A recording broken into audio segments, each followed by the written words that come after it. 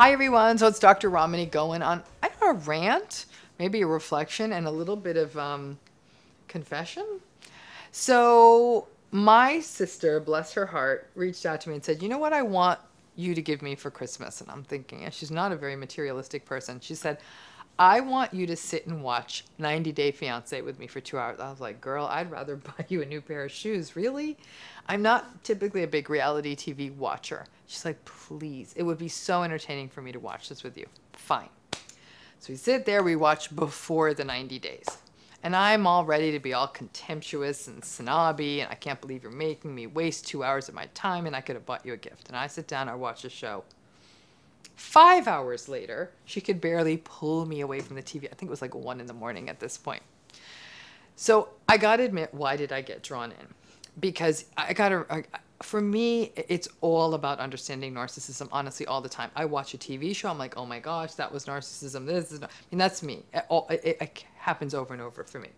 But what is it about 90 Day Fiance? Interestingly, you would think I was worried about narcissism. No, no, no something I saw in that show hit me hard, and it actually made me incredibly sad because it seemed that everyone in that show was actually going in for something, even when they were choosing it, in the worst possible places and the most in- incorrect and inappropriate people.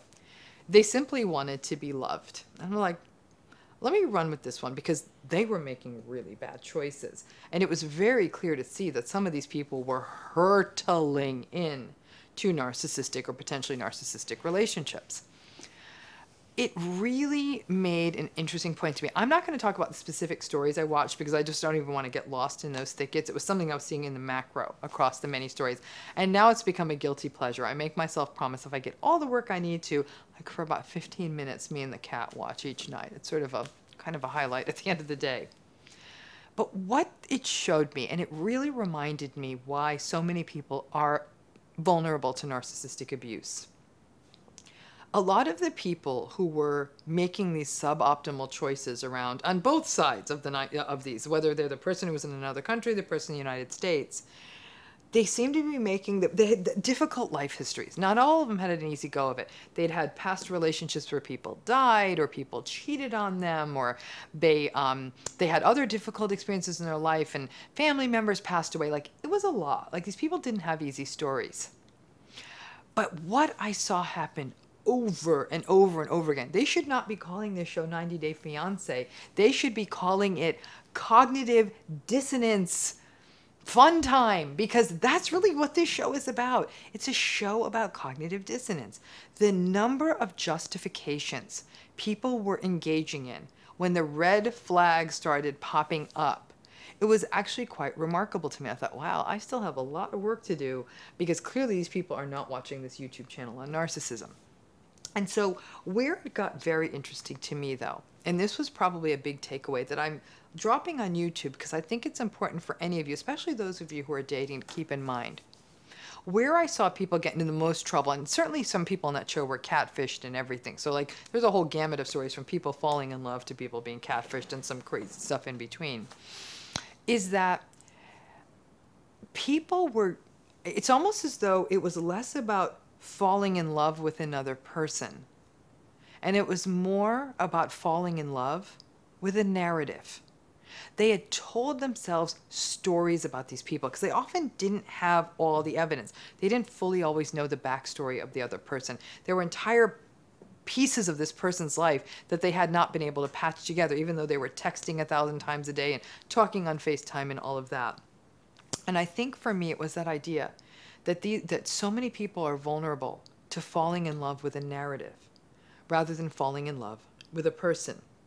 And maybe that is why so many people get that sort of get pulled in to the love bombing kind of waterfall because they're falling in love with a story. Stories are so seductive.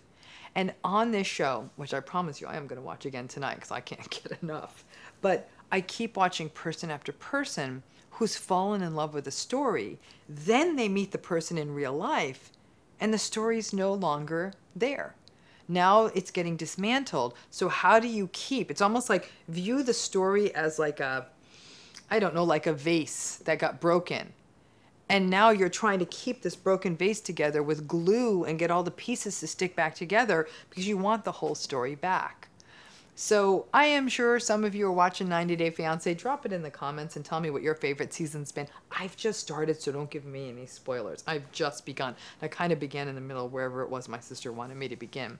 And my own staff has told me the seasons they've watched. I've got my work cut out for me, and I only watch it 15 minutes at a time, so it's going to take me about 10 years to watch this entire show.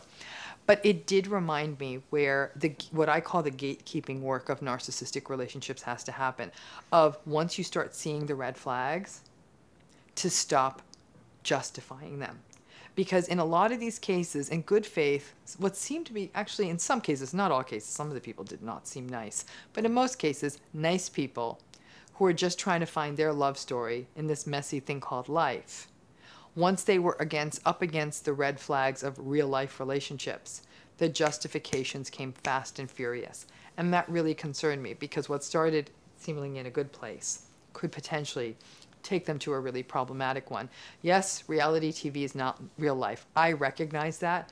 But even if a shred of this dissonance was there, and the other theme that kept coming up in that show was how many times people would show up at the, in front of this new person or ask them, like, do you think you're going to be disappointed when you see me? Do you like what you see? And I'm like, insecurity. Insecurity is a major driver for people either getting into narcissistic relationships or being the narcissist themselves. So, whether 90 Day Fiance or not is obviously not a um, documentary about black holes, which is sort of another pleasure of mine, but you can't be smart all the time. So, yep, I'm on my 90 day fiance journey, not in real life, thank God, but in, on um, and watching it. So, if you have any thoughts about the show, drop them in the comments. But those are my thoughts. But again, keep in mind, we got to teach people if you're gonna love, fall in love, fall in love with the person don't just fall in love with the story.